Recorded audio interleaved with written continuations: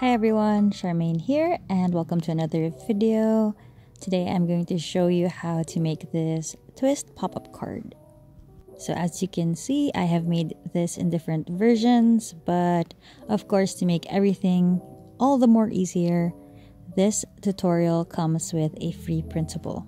All the measurements are already in this printable. I will put the download link in the description of this video. If you print this printable on an A4 sheet, you should get the exact measurements in millimeters.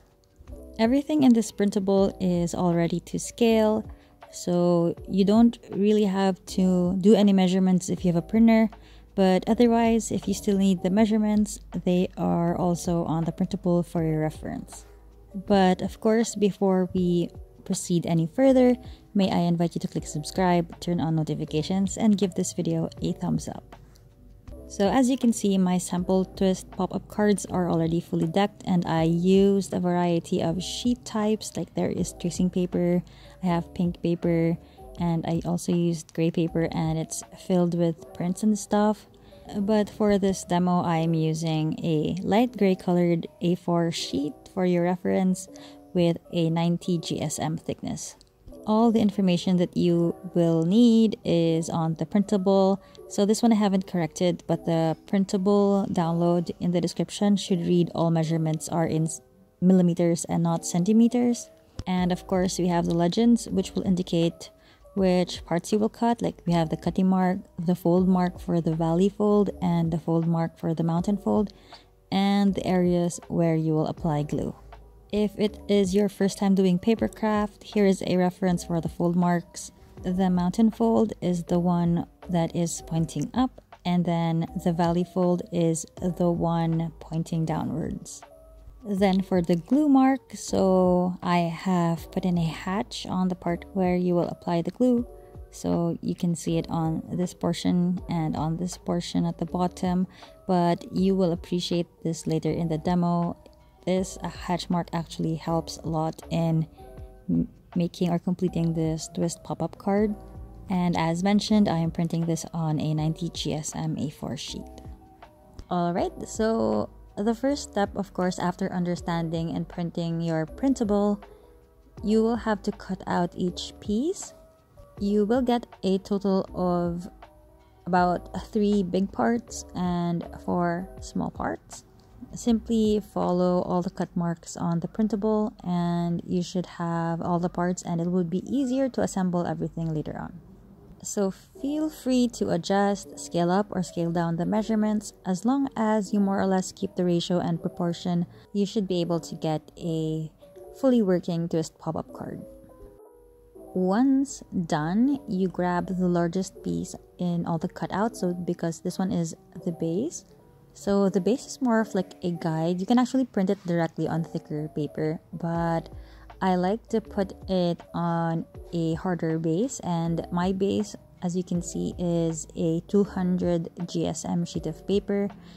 Your base or this is like the main body of your card is better thicker because it actually gives the card more body when you pull out the paper mechanism later on.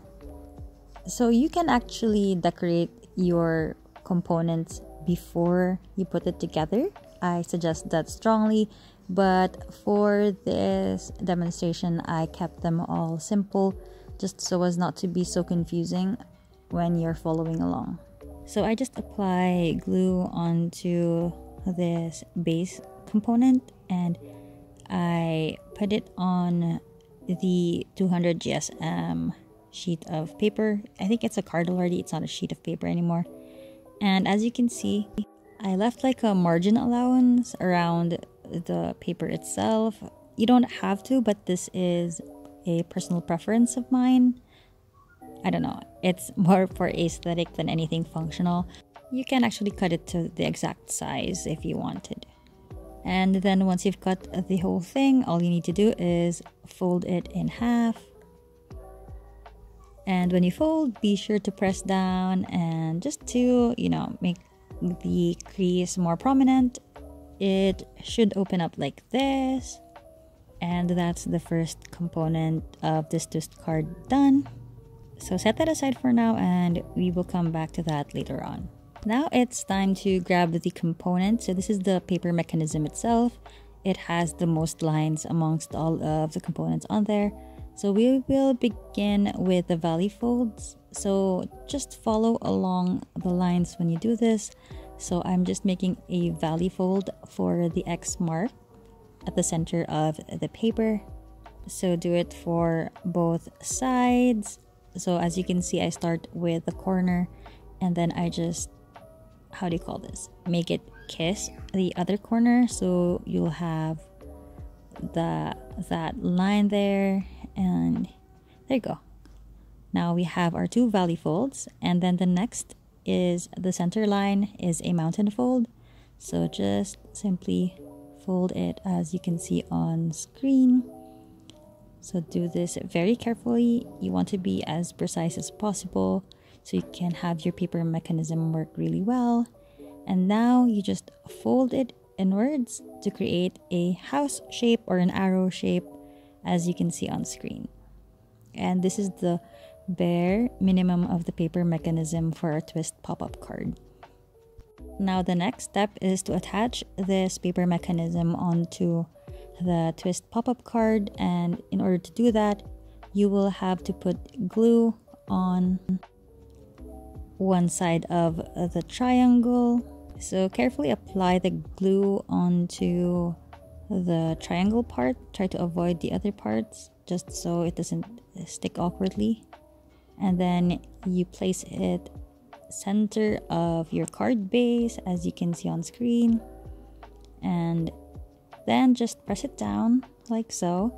And as you press it down, apply glue on the other triangular base on top so just slowly glide the glue onto that triangular shape and I'm taking out the excess glue and I just fold in the top part of the card and press it down until it holds. When your glue dries, it should do this and this is the bare minimum of your paper mechanism, but I just folded it down for a bit just to make sure all the parts of the glue stuck properly before I added in the pockets. Now let's work on the third component which is the pocket. So just follow along. So you will be folding a valley fold followed by a mountain fold and followed by another valley fold. So the goal here is to create a sort of like a W. You will see it in a bit. I will show it to you on screen of what I mean by the W. When you open it up, you will get a W in profile like so. So there's like a W shape happening over there. And then the next step is locate the center of your W and try to put it over the paper mechanism we created. So you want it to be in the center as well. You start by laying the whole thing flat on the paper mechanism and then you fold in one of the flaps inwards and you get this hatch on there. And as instructed in the legends this is the portion where you will apply your glue. So apply glue on to the hatched portion and then fold your flap back in place press it down so it holds and then do it for the same side. But as you notice the hatch is located on the opposite end so it's now on the lower end. And so just do it as you see on screen and give time for the glue to fully dry and hold the paper together. In my experience, the first fold usually needs to be guided, so I try to hold and guide where they should fold. And after that, it will be very easy for you to open it up and close it again and open it up and close it again and there you have it. Your twist pop-up card is actually done. So for the remaining components, all you have to do is fold the flaps inwards and you can do it all for the four pockets. So these pockets are more of a personal thing. It's just my personal preference. Um, most of the cards that I saw online didn't have these pockets, but I thought you might want them as well because, you know, I like stuffing things inside these cute little pockets like stationery, stickers, ephemera. But you can forego the pockets if you just want to add journal cards or decorate the W fold. Then in order to attach these pockets, all you have to do is apply glue onto the flaps and stick them onto the card faces. Just simply repeat the flap folding and the application of the glue for all the four pockets until you have all four of them attached onto the W fold or the base. And once they're all dry and secure, they should fold snug and tight as you have made them. So now it's time to fill in the pockets. You can add in tiny stickers, tiny die cuts, ephemera, and decorate your twist pop-up card with your style, with your character, and with your personality. Anyway guys, I hope you found this video fun and hopefully simple enough to do yourself. And if you do get a chance to recreate this paper craft or any other of my paper crafts, don't forget to tag me on Instagram. I would love to see your recreations. Thank you so much for making it through till the end. I will see you next time. For now, take care and keep safe. Bye!